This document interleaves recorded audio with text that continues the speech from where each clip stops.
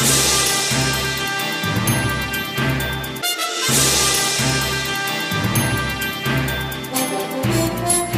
Doamnelor și domnilor, iată care sunt știrile zilei. Legislativul Făgărășan a fost sâmbătă în ședință de plen. Prezenți în sală au fost 25 de consilieri locali și nu 19, numărul mandatelor de la Făgăraș. Care este explicația? A fost un joc de strategie la care au luat parte liceeni. Ei l-au interpelat pe primarul Sucaciu și au dezbătut proiecte pentru oraș. După ședință, tinerii au spus că nu este simplu să iei decizii pentru comunitate. Proiectul de educație politică la care au participat și-a propus să contracareze dezinteresul adolescenților față de politică în general. Făgărașul se pregătește de asfaltări. Șantierul se deschide în această săptămână. Reprezentanții primăriei au întocmit graficul de lucrări și au hotărât ce stră se închid pentru a fi pregătite în vederea turnării covorului asfaltic. Pentru aceste asfaltări, firma care a câștigat licitația primește suma de 14 milioane de lei cu TVA emoții, implicare, lacrimi de bucurie sau de tristețe pentru perechile de dansatori care au evoluat în fața publicului la ediția a doua a concursului zonal de dans sportiv Cetatea Făgăraș. A fost un adevărat spectacol în care au strălucit pașii de dans, coregrafiile și ținutele concurenților. Cele mai bune evoluții au fost premiate. Inginerul pensionar Vasile Pop pregătește o nouă lansare de carte. Este vorba despre un roman și totodată o scriere documentară ce poartă titlul Chemarea Iederei. Evenimentul are loc joi, de la ora 18, în Clubul Casei de Cultură, unde iubitorii de literatură vor afla ce l-a determinat pe autor să scrie această carte, semnificația titlului și mesajul volumului.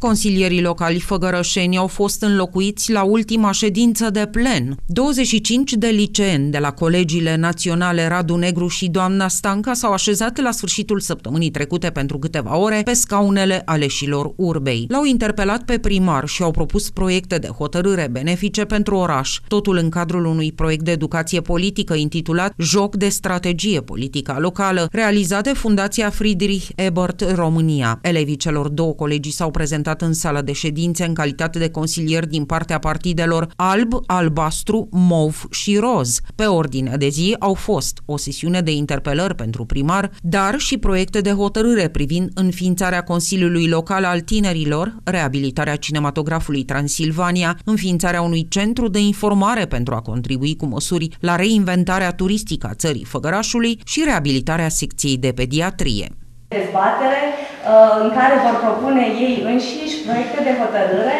pentru municipiul Făgăraș, proiecte pe care ei le-au gândit, ei le-au considerat necesare.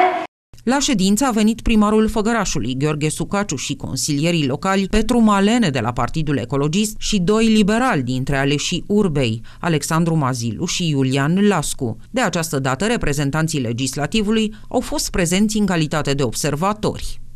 Dezbaterea și uh, adoptarea sau uh, neadoptarea lor. Uh, va începe cu proiectul de hotărâre al Partidului ALB cu titlul Înființarea Consiliului Local al Tinerilor, apoi Partidul Albastru, proiectul de hotărâre cu titlul Reabilitarea cinematografului Transilvania din Făgăraș, Partidul MOV, Uh, proiectul de hotărâre cu titlul Înființarea unui centru de informare pentru a contribui cu măsuri la reinventarea turistică a țării Făgărașului, Proiectul unui inedit printre elevii și profesorii celor două instituții de învățământ a fost de bun augur. Tinerii și-au dat seama că nu e chiar atât de simplu să iei decizii pentru comunitate.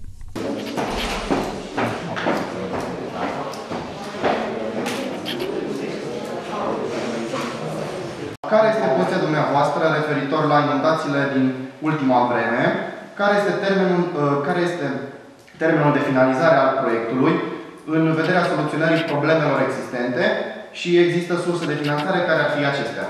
Jocul de strategie este o metodă de educație politică prin care se urmărește ideea de stimul cât mai real posibil în activitatea unei instituții politice existente. Fundația Friedrich Ebert din Germania a dezvoltat în urmă cu 10 ani acest joc de strategie și de atunci îl derulează cu succes în Germania, Croația, Cehia, dar și în România, în peste 30 de localități. Proiectul își propune să contracareze dezinteresul tinerilor față de reprezentanții politici și politică în general. În acest fel, ei înțeleg procesul decizional de la nivel local mult mai bine și află care sunt mecanismele democratice de participare a cetățenilor la luarea deciziilor publice.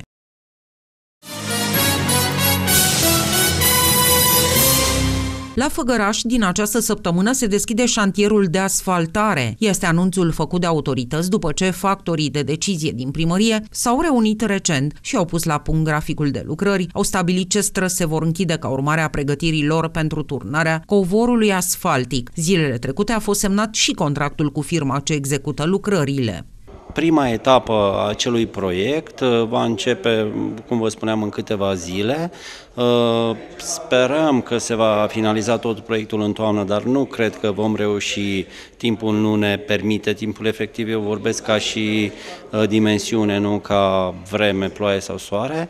Doamna Stanca este în licitație, încă nu s-a finalizat licitația, ne-am făcut întreținerea acelui sector de drum, o vom continua, am întrerupt-o în momentul de față uh, pentru a finaliza anumite lucrări, celelalte lucrări de infrastructură din Făgăraș, Vom finaliza și acea întreținere și după ce va fi finalizată licitația, vom intra și vom moderniza tot, tot acel tronson de drum. Mai sunt uh, acele uh, proiecte în lucru de infrastructură, este uh, lotul 4, uh, amenajarea uh, quartalelor între blocurile pe strada Teiului, strada Stejarului. Asfaltările pe unele străzi, deși programate în grafic, vor demara doar după ce se reabilitează rețelele de canalizare și cele de introducere în subteran a legăturilor și cablurilor din rețeaua electrică.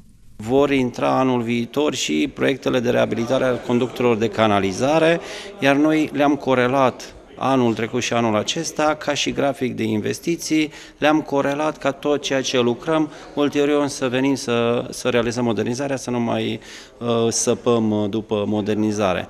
Mai avem acum în licitație și canalizarea de pe strada, de pe șoseaua Horezului și strada Salcâmului, dar șoseaua Horezului intră în modernizare pentru că rețeaua de canalizare o vom uh, efectua pe Uh, marginea drumului. Pe urmă va intra în uh, reabilitare și modernizare uh, conductă de apă pe Octavian Paler 13 decembrie, ulterior să venim noi să modernizăm strada.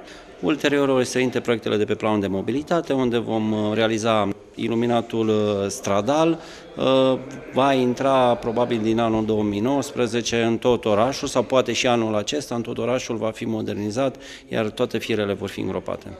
Proiectul de investiții în reabilitări și modernizări de drumuri în Făgăraș a fost câștigat de primărie în urmă cu patru ani prin Programul Național de Dezvoltare Locală. Prevede asfaltarea a 20 de kilometri de drumuri în cartierele Florilor, 13 decembrie, combinat străzile Crinului, Octavian Paler, Negoiu, precum și șoselele combinatului și Hurezului. Firma care a câștigat licitația îl execută pentru suma de 14 milioane de lei plus TVA.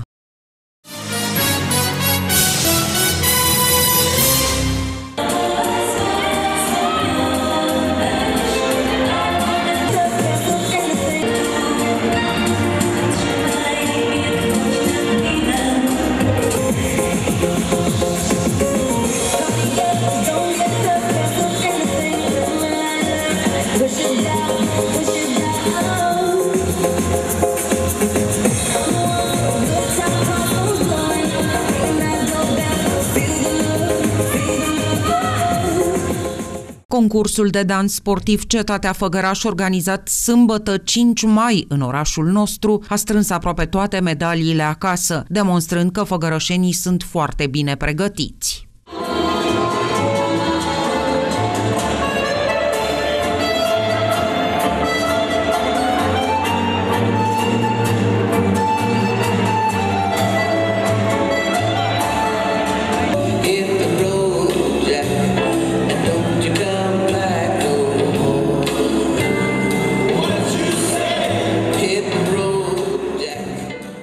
Juriul a apreciat prestația concurenților din orașul nostru înscriși în competiție, acordând 3 locuri întâi, 4 locuri 2 și alte 3 locuri 3. Pe podium, alte 12 clasări la finalele de dans au aparținut tot făgărășenilor.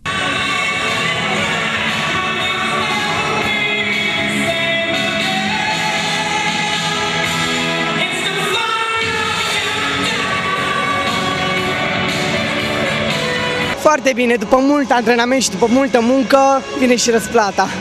Am dansat pe de parte standard și pe de parte latino. Dansurile standard am luat locul 2 și la dansurile de latino am luat locul 1. Partenera mea se numește Robo Alessia Anastasia. Fac de 7-8 ani dans sportiv.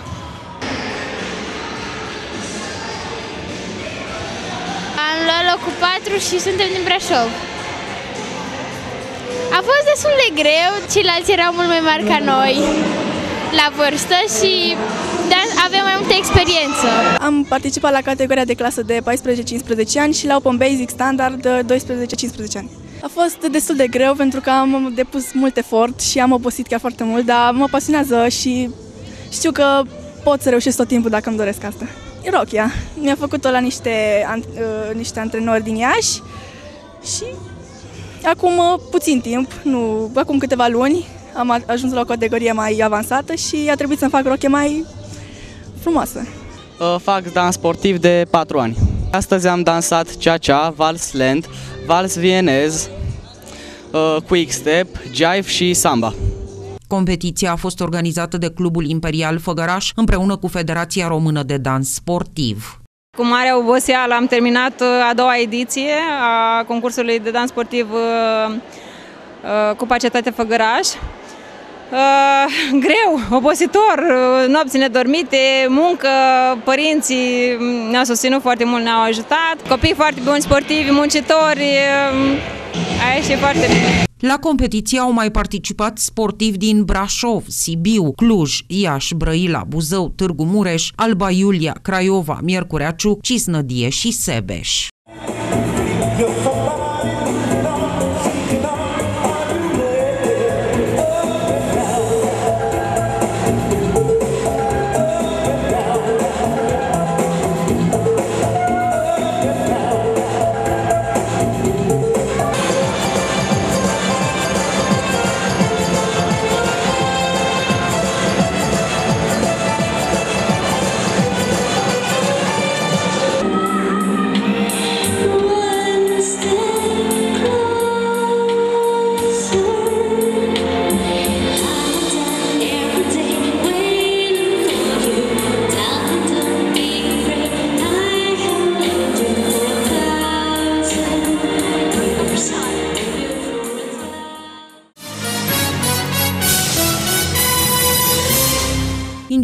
pensionar Vasile Pop își lansează cea de-a opta carte cu titlul Chemarea Iederei, un roman și o carte documentară, un periplu emoționant care dă viață anilor studenției, ai grupei 106 de la Facultatea din Cluj. Autorul păstrează acei ani vii în memorie și cu nostalgie în același timp, așterne în paginile cărții acele povești de viață spuse într-un joc de-a vacanța. L-au întrebat de ce a ales acest titlu, Chemarea Iederei, un titlu simbolic am putea spune, în acord cu pregătirea domnului Vasile Pop, cea de inginer horticol. Ne-a explicat că iedera, regina înălțimilor și a miresmelor verii, dobândește în carte funcția sacră. Este păstrătoarea purității iubirii, care învinge presentimentul morții. Există două tipuri de ieder. Iedera cățărătoare, care crește în zonele de câmpie în special, și iedera de munte.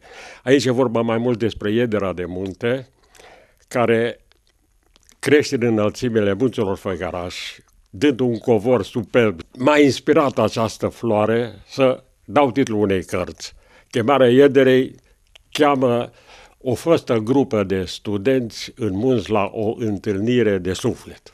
Spunea Miron Costin, una dintre cele mai frumoase și mai folositoare pasiuni este cetitul cărților. Vasile Pop nu a ales întâmplător această lansare de carte. Mare iubitor de cultură și mai ales de valori autentice, atât de incerte, spune el, în lumea bulversată de incertitudini și de mitizări în care trăim, și-a dorit să aducă în contextul realității istorice anului de grație 2018 al centenarului Marii Uniri această carte, ce oferă o filozofie de viață, ce combină emoții și trăiri ale înaintașilor cu cele ale urmașilor acestora, colegii și prietenii săi din facultate, și toate povestite cu mult har. A fost prima frumusețea vieții de pe un pat de spital, asta datorită faptului că m-am îmbolnăvit foarte, foarte grav. Lucrând 25 de ani în agricultură, am vrut să fac cea mai frumoasă livadă din România, o plantație de cășuni de peste 40 de hectare. Au distrus tot, tot, tot, tot, tot parcă au fost vandali după, după Revoluție. M-a afectat. Cred că asta m-a îmbolnăvit, am stat pe spital și ca să uit de citostatice, șase luni de zile de necazuri, am scris prima carte, Frumusețea vieții de pe un pat de spital cu amintiri, pe urmă doar o seară, Întoarcerea, Mustul mărăcinilor și o carte a satului meu natal, Santău, Vatră, pe rugul istoriei, am mai scris și penultima carte, este și eu am fost primar, că am fost și primar patru ani de zile independent. Iubitorii de literatură sunt așteptați la evenimentul de lansare a cărții pe data de 10 mai la ora 18 în Clubul Casei Municipale de Cultură.